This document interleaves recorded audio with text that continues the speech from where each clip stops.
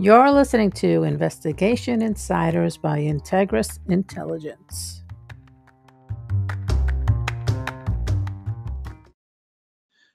Welcome back, everyone, for another episode of Investigation Insiders. Today is part two of our discussion about crime going back to the levels it was uh, in the 80s. Uh, joining me again is uh, Jo Morrow. How are you, Jo?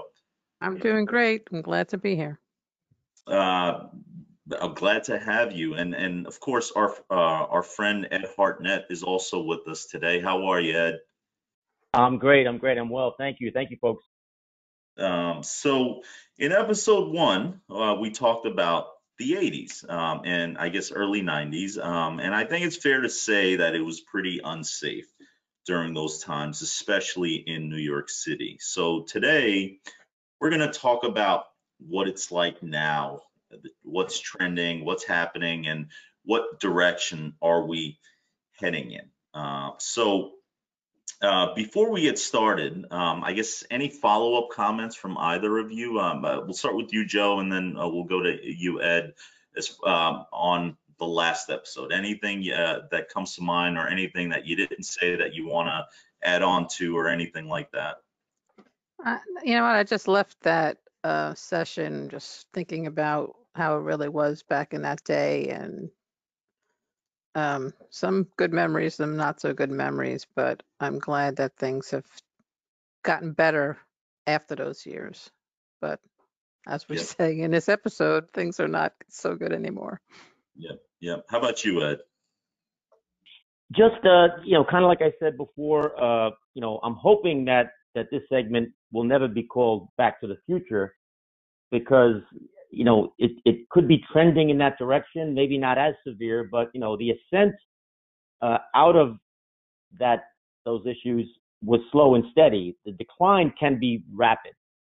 Yeah. Uh, so I'm, I'm worried about that, and it's disturbing for me, the city that I love, which I don't live in now, but I, I still we still frequent the city often, uh, and the hard work that was done, and the hard work was done listen, the NYPD gets gets a lot of the credit, most of the credit, but the hard work was done by the entire law enforcement community, especially post 9/11. Uh, you know, federal, state, local, with and I can't stress this enough, with community support, community partnerships. And I'd hate to see all that good work go to waste. And more importantly, I hate to see more people, you know, become victims of of violent crime. So I'm um, I'm I'm worried about the future of the city that I love. Yep. Yeah. No, uh, we're with you. I, I mean, I, I, uh, we're we're with you, and obviously we're we're we're talking about it sort of in a bubble about New York City uh, because of our ties to it. But you know, this is really a representation of what's going on across the country. So, before we get um, started um, on the discussion, I wanted to sort of again start with, with a sort of lighthearted discussion about the 80s. So, is there a special place that you could think of um, uh, that reminds you of that time, that brings back good memories? I'm going to uh, start with you, Jo. Yeah, I mean, I, I lived right off of 18th Avenue, and there was a feast every September, St. Rosalia feast. And uh-huh. just, I looked forward, we all looked forward to that every year because it's the end of the summer and before school started, and you got to meet up with all your friends going to Da Vinci's Pizza, Vegas Diner, Jan's, all these popular places that was just the norm for everybody. But that feast was funny because behind the scenes, you know, there were ties to organized crime, but we were just enjoying all the the perks of it and and the, the food and the atmosphere of it. But behind the scenes, I'm sure money was being made by uh, organized crime families. Sure, uh, I I think we can all look back on certain certain places and uh, think about, wow, you know what? I didn't realize that was going on also. Uh, you know, while I was eating my uh, uh Cheetos. You know what I mean? So. Um, uh, police. Yeah, no, absolutely. Uh, what what about what about uh, you, Ed? What what what do you think about what what is there a place that's fond in your heart? Yeah, but first I, I gotta I gotta uh, go on about the, something Jo said about those feasts. I I was a brand new sergeant and back then, when you made sergeant, uh, in theory, they put you in one command in the I was in the Bronx at the time. They would put you in one command for six months. Ideally, you make all your mistakes, and then they put you in your permanent command. So my first six months was in the 40, and of course I made many more mistakes after that. But uh, they put me in the 48th precinct in the Bronx, which covered the Arthur Avenue section, uh, and I worked one of those feasts uh, two weeks straight. Uh, there was some characters like out of a movie, and out of a bad movie in some cases. Uh, but you, to Jo's point, you knew even as a as a baby sergeant, uh, and uh, you know a, a cop graduated out of Harlem and wound up in the Bronx again. Uh, I said, you know, yeah, these guys are these guys have their own program going here, uh, so I can I can I can identify. And in theory, we were basically protecting them, which was kind of ironic. But uh, Yeah.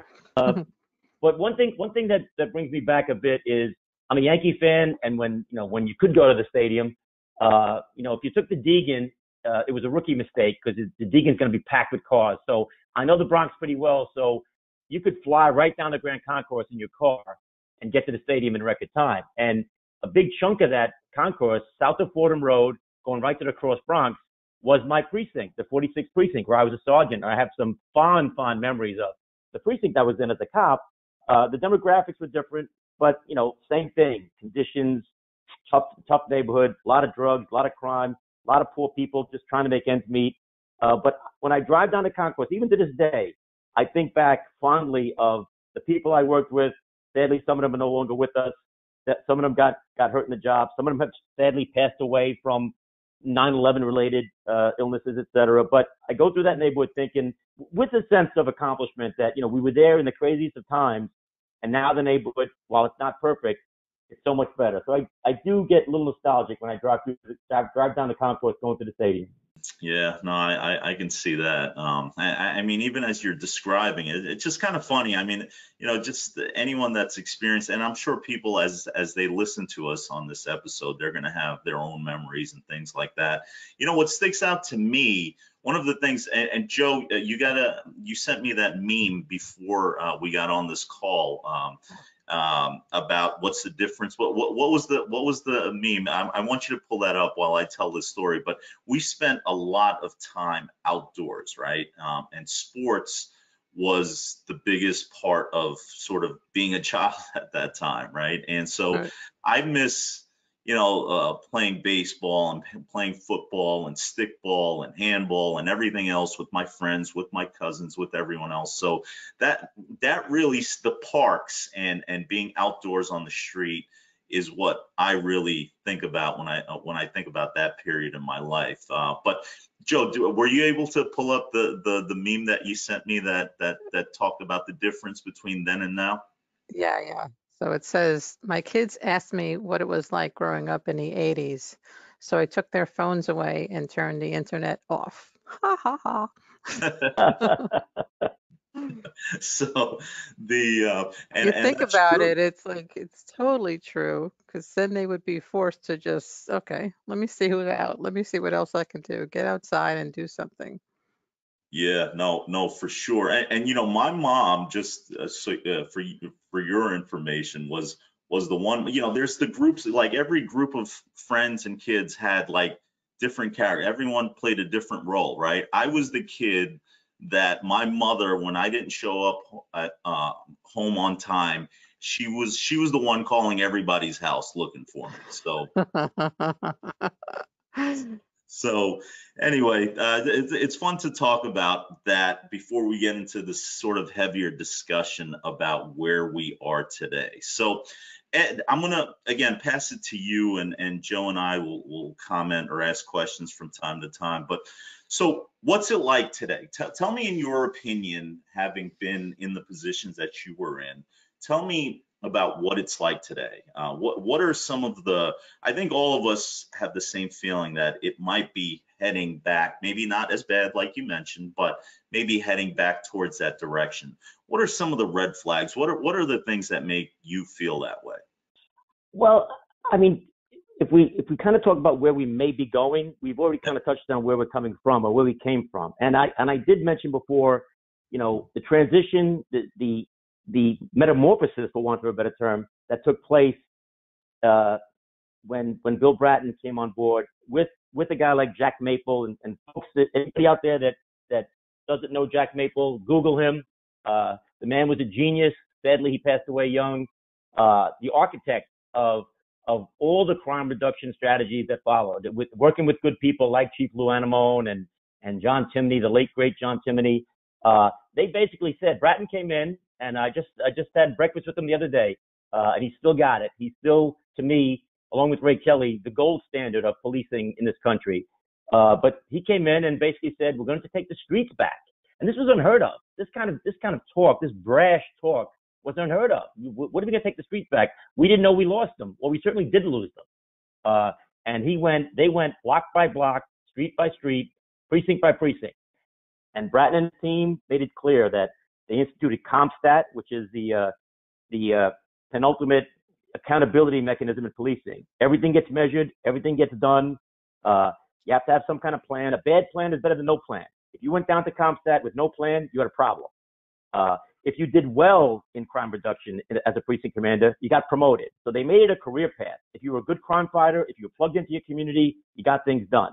So steadily from from mid 90s till now, till recently anyway, the numbers went down. And it's not all about numbers because we always remember that every number has a victim attached to it. But we went from 2,200 murders in the early 90s down to I think it's now in the 300s. Uh, and the and the other major crimes, rape, robbery, burglary, grand larceny, auto theft, felony assault, they all went down precipitously over the years because of CompStat and because of that accountability that comes with CompStat. So again, the, the current police commissioner, uh, Dermot Shea, uh, I always tell people I'm officially old because Dermot was one of, one of my lieutenants when I was a chief. So when one of your lieutenants becomes the police commissioner, you are officially old, my friend. Uh, but he's he's an outstanding crime fighter. He's an outstanding strategist. He has vision. The the police, police commissioner before him, Jim O'Neill, is an old friend. Same way. These are these guys are all in the Bratton mold. When Bratton came back the second time, uh, he he recommended Jim O'Neill take over, and then Dermot Shea take over. So, but you know they can only do so much. The police department can only do so much because of the conditions that are now uh, in place. Uh, bail reform uh, was in place in other states, and the powers that be in New York State thought bail reform would be a good thing here. Uh, in my view, it was put in, it was rushed. It wasn't uh, a lot of, in, there wasn't a lot of input from law enforcement executives, police, you know, police experts. So the people that the vi- the very violent people that would normally be in jail uh, were released without bail, and then many of them uh, commit the same crime and they get arrested again and they get released again. So bail reform is a is a major factor in in the crime increase and violent crime increase in the city and throughout the country. Secondly, uh, another factor that's involved and doesn't get talked about much is something called the uh, 15-day discovery rule. Uh, basically, what that means is when someone gets arrested, the, the the cops and the prosecutors must turn over all evidence within 15 days. Uh, and that includes the names, addresses, and phone numbers of victims, uh, possibly who, you know, and witnesses. So people are less inclined to uh, to cooperate with the police because they know within two weeks the bad guy's going to know exactly who they are and where they live. Those two factors alone are causing, you know, major issues uh, as far as crime increases. Secondly, you know, you know the the post George Floyd uh, experience. Uh, obviously, what happened to George Floyd was horrendous and a, and a stain on law enforcement in this country. Uh, the reaction after that, uh, you know, blaming every cop for the actions of one cop in, in Minnesota. Uh, but again, it, it, it, it, forced the cops to be less inclined to uh, take proactive action.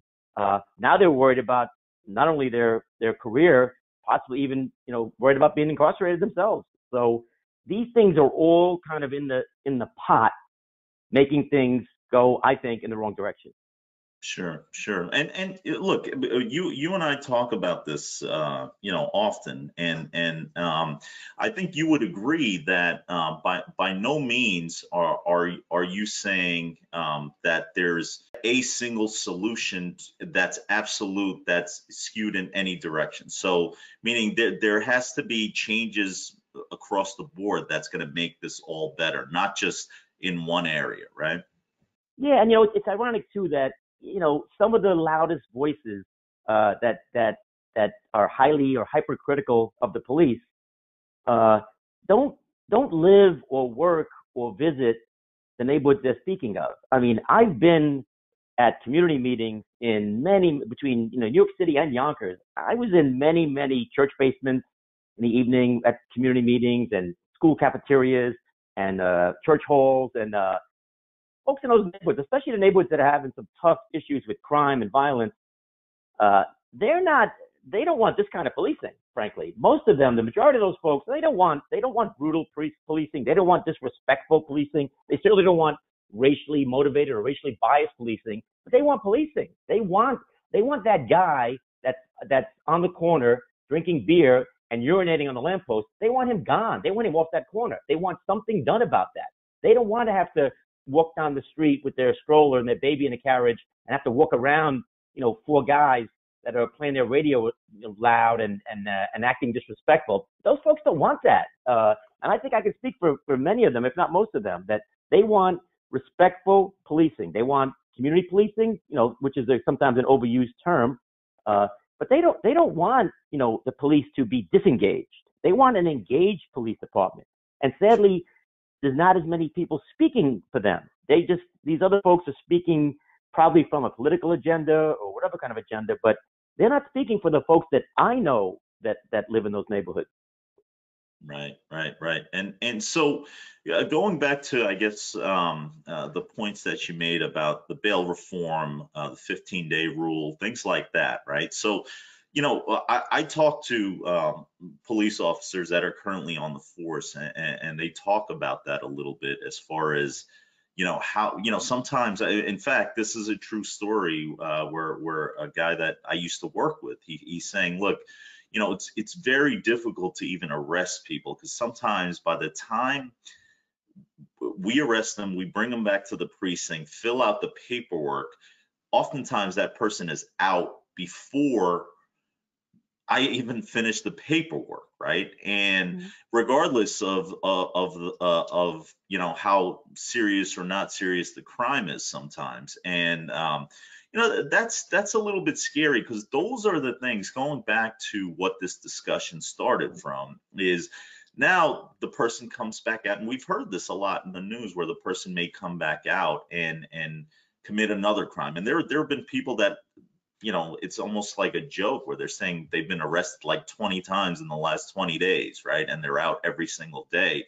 That sort of gives me the you know the gets me back to like that lawlessness that we talked about, where someone who is a repeat offender um, is is out because they and and they know they could go out the same day uh, that they're out, commit another crime, go back in, um, come back out, do it again, and and and that brings me back to the feeling. I mean, uh, do you guys agree with that? How, do you feel about that? I'd agree with that. And I think that's what uh, makes some people hesitate reporting because if they're found out that they were the one who called them in, they're kind of like a target. They're afraid somebody's going to come after them because they're the ones who ratted them out. So, because you know they're getting out, unless it's you know a major crime, but they're they're coming out and nobody wants that. So I think that kind of stuff just makes us continue this way.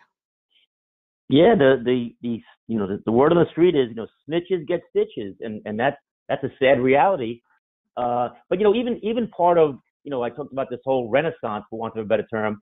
Part of that was, and we and we're you know it's slipping away now, is is assertive quality of life enforcement, and and again at times, and I'll I'll admit it, at times it was overused, at times it was outright abused, but when it's done right, and most of the time it was done right, uh, the, in the transit system, for example, it's just it's funny. I was talking to Bill Bratton the other day, as I mentioned. Uh, when he came on, there was there was a lot of really violent crime. He was initially the transit chief. People forget before he became the New York City police uh, police commissioner. Uh, the subways were out of control, murders, all kinds of mayhem going on, and they started they started enforcing fare beating.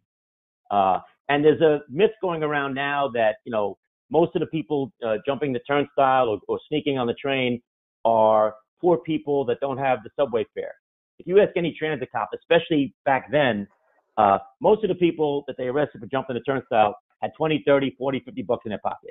So that's that's a myth for the most part. Uh, but they started enforcing that because they said a lot of these folks were coming on the train to commit crime. So they were stopping them right, right at the gate. And then, of course, they're arresting them for the fare beat. They find out they have open warrants. They had weapons. They had drugs. So that kind of attention to those small details prevented things from getting out of control. Again, the beer drinking, the public urination, the weed smoking on the corner, the loud radios. We all have anecdotes. Anybody that was around then, we all have anecdotes of a little thing we did that led to a bigger thing. That kind of stuff, attention to those small details, the broken windows theory, which gets a yeah. bum rap now, but the broken windows theory absolutely, absolutely was part of the, the turnaround that the city made.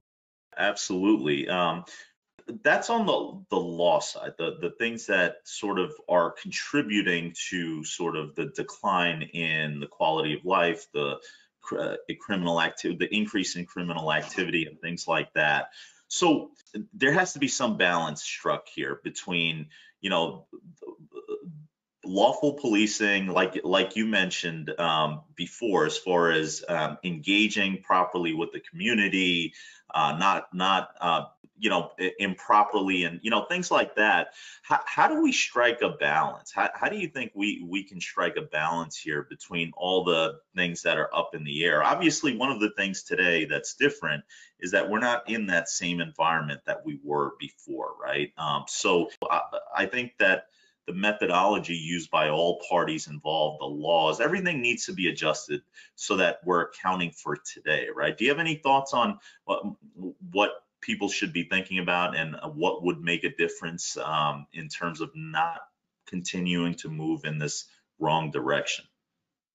I'm seeing, I'm, I'm hoping it's not, it's not going to continue. I'm seeing a somewhat of a trend in the the disengagement or the slipping away of the the public-private partnerships that got us to where we were uh, in a good way. The you know at the corporate level, the corporate security level, you know the the not as much of a of a c- continuing communication between in, in, the, in the New York City, for example, in the with the precinct commander and the community affairs officer and the crime prevention officer.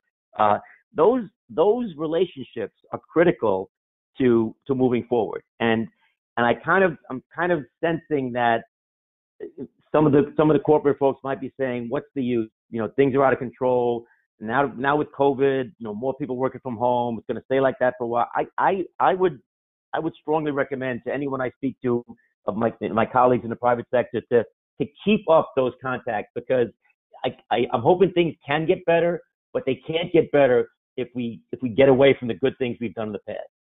Sure. No, I, I, I would agree with that. I, I, I think that um, I, I see that sort of same sentiment in certain circles, uh, and and I agree with you. I think that you have to keep it going. You have to continue to push on forward and and really um, hope that things get better. And if not, at the very least, you'll be informed, better informed, and be able to get information and and um, be prepared in the event that you know things get worse or perhaps better. So I, I think th- those are all good points. And then what do you say to like uh, having been a police officer for as long as you were, having held both, you know, you, you were a police officer on the street, you were a sergeant, you were a lieutenant, you went up through the ranks and held the very highest level in a police department, right?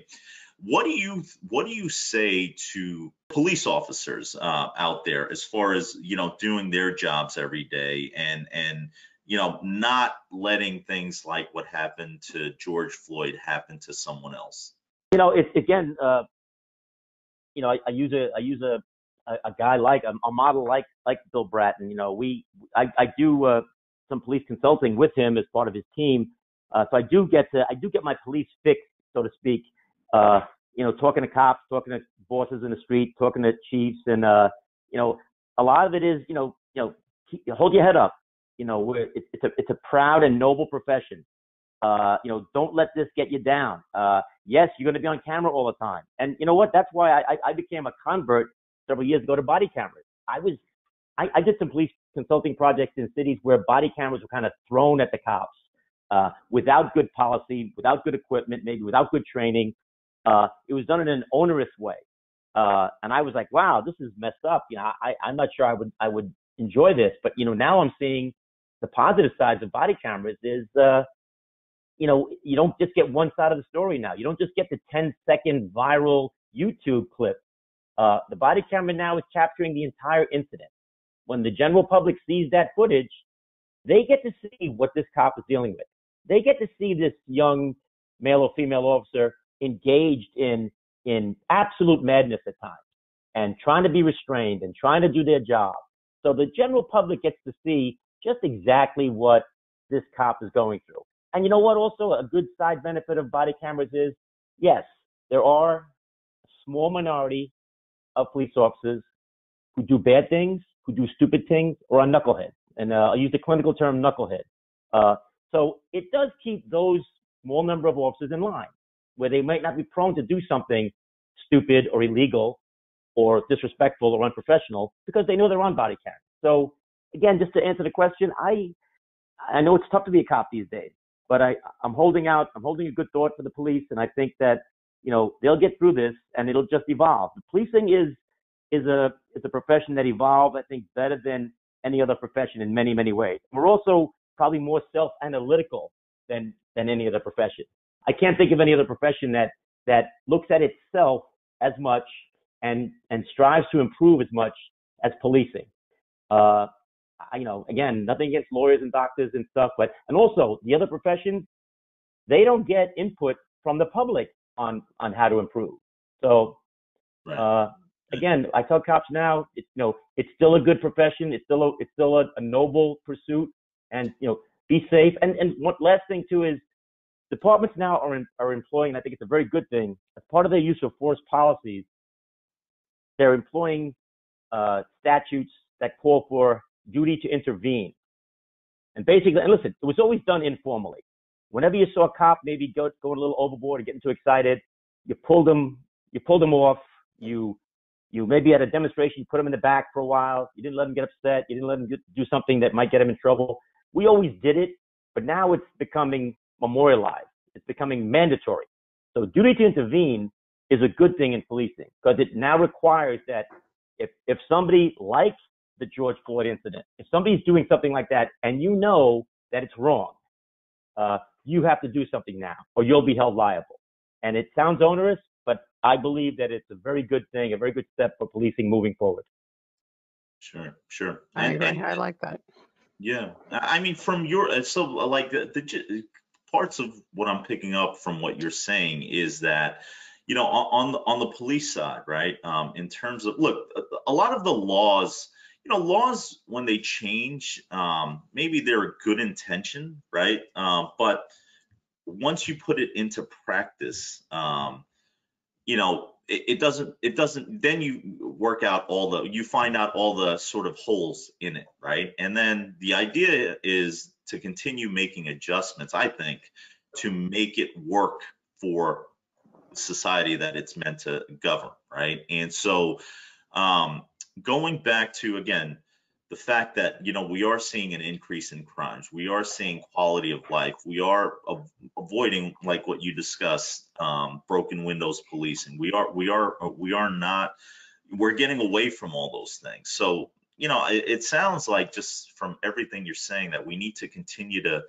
uh, work towards that balance where you know police are acting appropriately respectfully like you said over and over again um, and and and firmly in terms of what they need to do. Um, and um, you know the the the everyone else that's putting the things uh, in place around that uh, also continue to adjust and make changes to to make it work for all involved right Yeah, you know, it, two good points. Two two points just to make on the on the well-intentioned piece.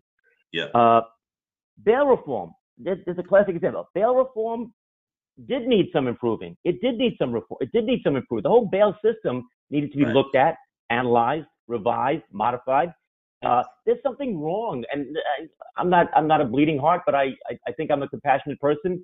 Uh, there's something wrong with a kid, you know, 18 year old kid sitting in Rikers Island for two and a half years uh, on a crime that ultimately he might be found not guilty of, but because his family couldn't come up with bail money. I, I got to Right. say, you know, thank God, you know, I, I, uh, my mother would have killed me if I committed a crime, but uh, then she would have went to jail. But uh, I, you know, if, if I, my, my family couldn't afford, you know, that kind of bail. If I was, if I was caught up in something stupid like that, and I wound up getting arrested, and I'd, I'd be sitting in Rikers Island for two years. So, so bail, bail reform, def- bail needs to be looked at. Again, it was done in a hurried manner. It was done to me again without input from all the, the parties involved.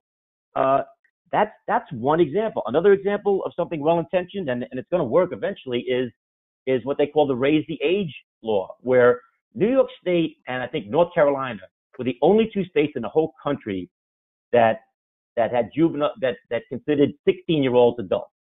The rest of the country, you're 18. If you're under 18, you're a juvenile. So to me, that that cried out for some kind of reform. But you know, it's now it's now they're stuck with trying to figure out what do we do with these 16 and 17 year olds? Some of them who are already hardened criminals. Some of them were just dopey kids that that made one mistake in their life. So it's now been kind of rushed about, rushed through. But you know, those are two examples I think of, of things that initially are well intentioned that could have been done better, but but now they're kind of like scrambling on, on how do we fix it? How do we modify things back so it's not going to go out of control? Yep, and, and and I think I think it's important that you know again people people recognize that you know what it's it's not working uh, the way it was intentioned uh, uh, to to work, and we need to uh, continue to make adjustments so it does work. And look, I, I mean from the police side, I think that you would agree it's the same. Like you mentioned before, there are obviously police officers uh, or people uh, in those types of roles that you know don't do things the way that they're taught don't do things the way that they're they should be doing and um, uh, i know from speaking to you and others that that's stuff that the police department and the powers that be within the police department are constantly working on to improve right Yeah, listen, I, I- you know, there's, there's there's a lot of oversight now. It's just just speaking from the NYPD perspective, and frankly, I thought, you know, for the most part, uh, we policed ourselves very well. I mean, in some cases, the NYPD discipline system is quite draconian. It's quite harsh. Uh, but you know what? It, it serves to keep keep folks in line. And uh, again, you know, some of the less informed think that the cops do whatever the hell they want, whenever they want, wherever they want, and it's just not the case. There's a lot of controls in place. Again, having done police consulting all over the country, the, the supervision model, the level of supervision, the level of oversight in the NYPD, in most cases, second to none. Yep. I believe that. I mean, nobody wants, you don't want the, your fellow cops making you look bad because it, it brings everybody down. So you want that No, no, I oversight. mean, a you horrible- Go ahead. Jo, you're right on the money. A horrible example in my career was uh, the Abner Louima case. Uh, I mean, this this gentleman was arrested. Uh, there was some kind of brawl in the street. He was arrested, and and one of the officers wind up uh, sodomizing him. I mean, Right. to me, that was the low point in my career. That I had. I mean, the very next week, I was a deputy inspector, uh, fairly new, and I'm I'm policing a demonstration of of people expressing their outrage, and uh, and you know, we were ashamed. We were ashamed because Yeah. none of us thought that happened. We said this guy is making this up. Uh, no way he did that. The the uh, the perpetrator in this case, the officer, uh, his father was I think a retired agent. He was on radio every day, you know, proclaiming his son's innocence, and then then the officer admits that he did it. I mean, Yeah. that was a hard. That was a that was a, a stain on the New York City Police Department that that's in some ways always going to be there. Uh, and I know that kind of shame that brings to the officer. So, I mean, none of us obviously want that, and that was, it was hard to live that down.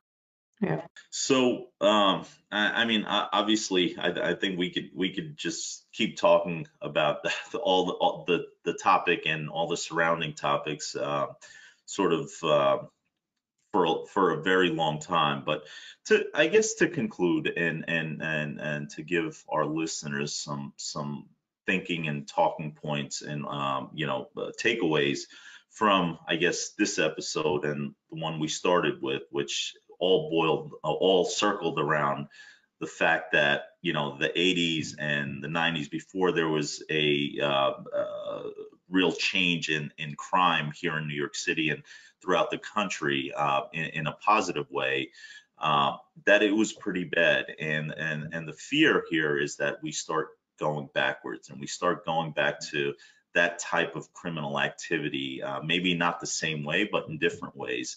And, um, you know, that's what it feels like. That's what it feels like it might be getting back to. Obviously, I think we all agree it's not like that today, but certainly even going in that direction is, is a scary thing. And so, I mean, again, it's it, to me, it sounds like everyone needs to continue talking and having real discussions about all of these things and transparent discussions and people that are actually living and working and and and um, dealing with all the different issues that need to sort of continue talking and and finding a good balance to not only um, policing and treating the whole community fairly, but also on the flip side, allowing the police to do what they do to kind of make sure that we don't go back into that direction. What what, what would you guys Yeah. say to that?